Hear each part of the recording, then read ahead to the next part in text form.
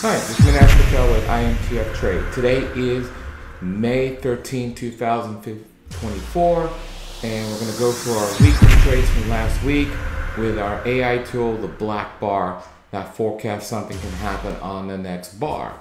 Okay, we've done this week by week to show you for actions, not words, how the AI tool works. Remember, it works for any instrument, any time frame, but what we're going to do is show you simple with just a weekly time frame for US stocks, uh, currencies, and futures, but it pretty much works for anything out there. The tool is very simple. The AI tool is very simple. Uh, and we keep it simple so anyone could sit there and trade this. You look for a black bar like this. Next bar, it tells you something's going to happen. The question is, which way? Easy. If this bar here has a green background here, you're basically going to buy. You're going to buy a couple of points above this black bar high, which we give you a blue dot to tell you exactly where that's going to be. If the uh, background was red, you're going to sell a couple of points below that TNT low, which is this blue dot right there.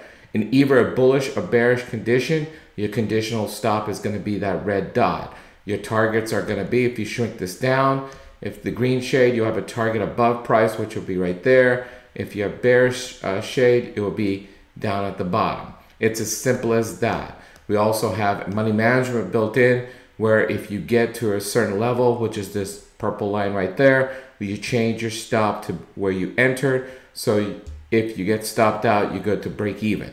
It's as simple as that. So let's begin the journey now and go through last week's opportunity.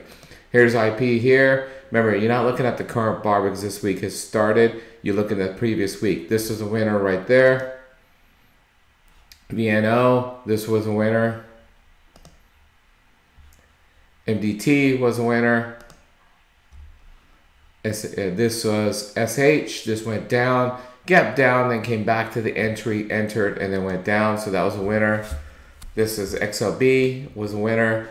PNR was a winner. AMP was a not really a trade you enter because it really didn't get to the entry at all. Here, this is a trade that gapped up, but it still didn't go to the entry, which was right there, and then closed out positive. Here, this is a positive trade last week. Here, this is a positive trade. Here, this was a negative trade here last week where it did not close out positive at all. Here, this was a positive trade right there. I forgot to flip this one red. Here, this was a losing trade. So we'll set that there. This was a positive trade right there. Winning trade. Winning trade. Winning trade. Winning trade winning trade. This is a winning trade. This here was a not a winning trade, but more of a losing trade here. So this was a losing trade right there. Actually, it got to break even because our little thing was right there, so it did get to break even. This here was a break even trade entered there, went far enough for us to change our stop to break even. These are trades that did not enter at all.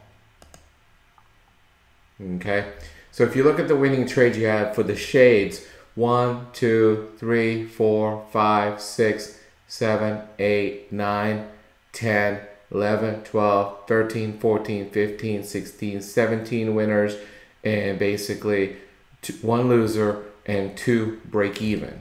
If you look at the non-shade opportunities, here. This was right here. This doesn't have a shade. So that for those, there are lower probabilities and you really don't know which way it's going to go. So you want to look for a drawdown before you enter in that strategy. Uh, if you use the strategy we have, I could tell you what the results are. This is going to be a winning trade right there.